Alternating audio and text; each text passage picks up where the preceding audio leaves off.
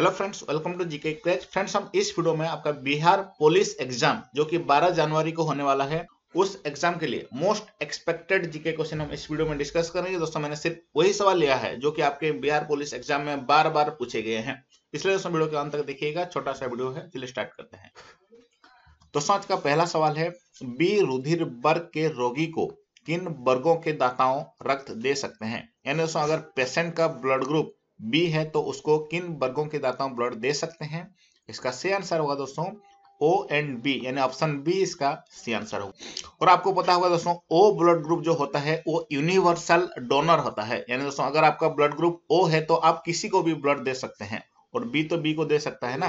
तो इसलिए option B इसका सही आंसर हो जाएगा। दोस्तों, ये भी जान लीजिए ए बी ब्लड ग्रुप जो होता है okay A B blood group जो होता है, वो किसी से भी ब्लड ले सकता है। यानी दोस्तों, जो ए बी ब्लड ग्रुप है, ये यूनिवर्सल रिसिपेंट है। ओके, वो किसी से भी ब्लड ले सकता है और ओ ब्लड ग्रुप जो है, वो किसी को भी ब्लड दे सकता है। याद रखिए, चलिए बढ़ते हैं नेक्स्ट सवाल की दोस्तों नेक्स्ट सवाल है, इटाई इटाई रोग, ये जो रोग है, ये शरीर शरीर में किस तत्वों की अधिकता से होता है?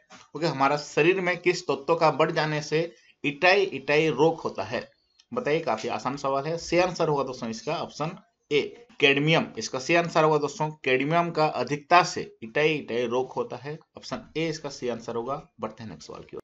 दोस्तों नेक्स्ट सवाल है, विश्व में सबसे अधिक ज़्यादा पाए जाने वाली ग्रीन हाउस गैस क्या है? इनमें से क्या है दोस्तों, बताइए। इसका सही आंसर होगा दोस्तों ऑप्शन बी ओके जल, बाष्प, ये जो गैस है, विश्व में सबसे ज़्यादा पाया जाता है और जो कि एक ग्रीन हाउस गैस है। और दोस्तों, दूसरे स्थान पर क्या है? कार्बन डाइऑक्साइड ओके नेक्स्ट सवाल देखते हैं। दोस्तों नेक्स्ट सवाल है, हरे फलों को कृत्रिम रूप से पकाने के लिए कौन सा गैस प्रयुक्त होता है? रूप से। दोस्तों इसका सही आंसर होगा एथिलीन। ओके, ऑप्शन ए इसका सही आंसर होगा। एथिलीन गैस का इस्तेमाल किया जाता है हरे फलों को पकाने के लिए। दोस्तों नेक्स्ट सवाल है, निम्नलिखित में से अश्रु गैस का घटक कौन सा है? इनमें से अश्रु गैस का घटक कौन सा है? इंग्लिश में जो टीयर गैस कहते हैं, उसका कंपोजिशन इनमें से कौन सा है? इसका सही आंसर होगा दोस्तों क्लोरोपिक्रिन ऑप्शन डी इसका सही आंसर होगा, याद रखिए ऑप्शन डी क्लोरोपिक्रिन दोस्तों नेक्स्ट महत्वपूर्ण सवाल है, निम्नलिखित में से किसका उपयोग रक्त कैंसर के उपचार में किया जाता है? बताइए, इसका सही आंसर क्या होगा? इनमें से किसका उपयोग, दोस्तों ब्लड कैंसर को ट्रीटमेंट करने के लिए इस्तेमाल किया जाता है? इसका सही आंसर होगा, दोस्तों फॉस्फरस 32 ऑप्शन सी इसका सही आंसर होगा, याद रखिए फॉस्फरस 32 दोस्तों नेक्स्ट सवाल है फोटोग्राफी में मुख्य रंग कौन सा होता है? ओके okay, फोटोग्राफी में मुख्य रंग कौन सा होता है? बताइए काफ़ी महत्वपूर्ण सवाल है बार बार आपके एग्ज़ाम में पूछा जाता है। इसका सही आंसर होगा दोस्तों लाल नीला हरा। ऑप्शन सी इसका सही आंसर होगा याद रखिए। नेक्स्ट सवाल है किली मांजारो पर्वत जो कि दोस्तों अफ्रीका का सबसे ऊँचा पर्वतमाला है इस पर्वत किस देश में स्थित है?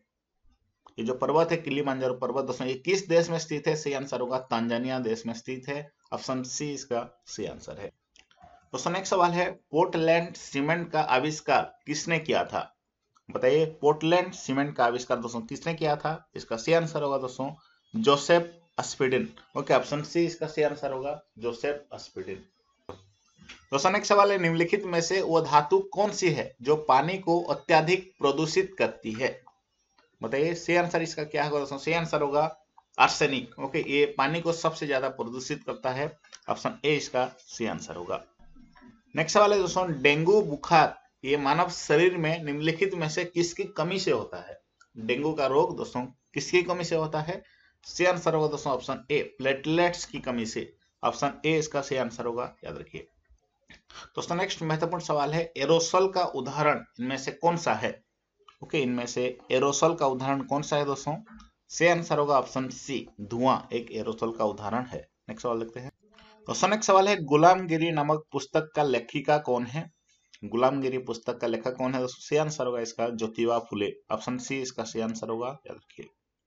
नेक्स्ट सवाल है दोस्तों 2019 का मिस इंडिया का ताज किसे पहनाया गया? इसका सी आंसर होगा दोस्तों, बताइए पहले। ऑप्शन सी, इसका सी आंसर होगा, सुमन राव। नेक्स्ट सवाल है दोस्तों, वर्ल्ड ओशन डे कब मनाया जाता है? बताइए, वर्ल्ड ओशन डे दोस्तों कब मनाया जाता है? आठ जून को मनाया जाता है, ऑप्शन डी इसका सी आंसर होगा, ओके? नेक्स्ट सवाल है दोस्तों 1916 में होम रूल आंदोलन, ये किसने शुरू किया? किसने शुरू किया दोस्तों? आनी बेसान जी ने शुरू किया, ऑप्शन डी इसका सी आंसर होगा, ओके? Option D. दोस्तों, नेक्स्ट सवाल है, सागरीय खर पतवार यानी सी वीड्स एक किसका महत्वपूर्ण स्रोत है? किसका महत्वपूर्ण स्रोत है? सी आंसर होगा दोस्तों, आयोडीन का महत्वपूर्ण स्रोत है, ऑप्शन डी इसका सी आंसर होगा। तो दोस्तों, बस इतना ही इस वीडियो में, सिर्फ़ बीसी क्वेश्चन थे। फिर मिलेंगे नेक्स्ट वीडियो में, धन्यवाद।